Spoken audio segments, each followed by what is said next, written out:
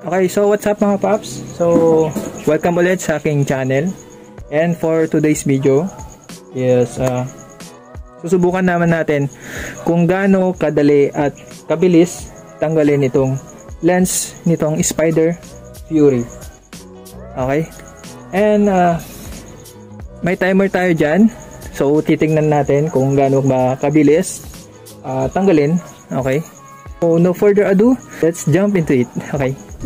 Okay, so bago natin umpisahan, syempre i-start muna natin yung timer. In 3, 2, 1, start na natin.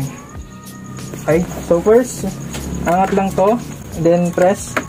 Okay, tanggal na. Press, okay. Parang mag-ano ka lang ng ano eh.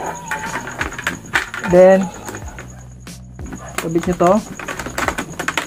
Then press, and dito.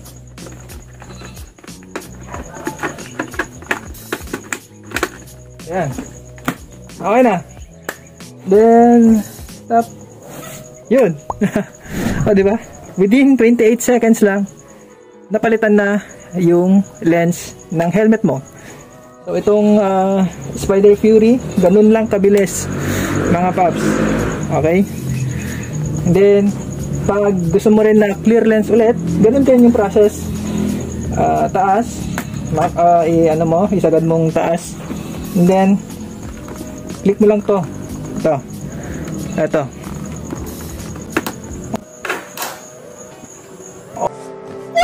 Oh, tanggal na. And then, sa kabila, ganun din. Oh. Ah, di ba? Ang dali lang. So, napakadali na tanggalin at ibalik tanggalin. Gusto mo ng clear, di ba? Lagay mo lang. Lagay mo lang diyan yun, pasok. Then, dyan. Ayan. Masakto. Ayan. Oh. Palitan na. di ba? So, yun lang mga paps. di ba? Ang daling palitan. Katulad ng ex mo. Pinagpalit ka agad. Wala pang 3 months. Emotional, damn it! Okay. Hugot yan. So, ayun mga paps. So, kung nagustuhan mo tong video na to, please uh, don't forget to like, share, and subscribe kung hindi ka pa nakasubscribe. And click mo na rin yung notification bell para updated ka sa mga susunod pa nating mga videos. Ayun o, 28 seconds lang. So, see you in the next vlog. So, ride safe sa ating lahat. Keep safe. God bless. And peace out.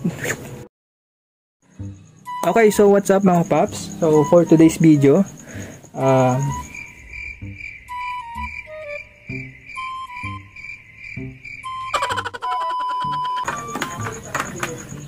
Ano tetest ako? Okay, so ang lagay ito. Ay!